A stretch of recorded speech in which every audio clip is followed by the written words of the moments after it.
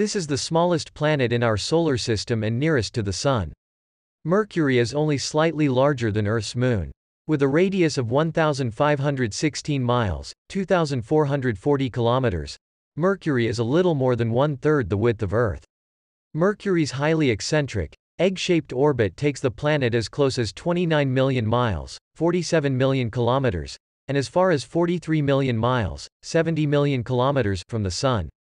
It speeds around the Sun every 88 days, traveling through space at nearly 29 miles, 47 kilometers, per second, faster than any other planet.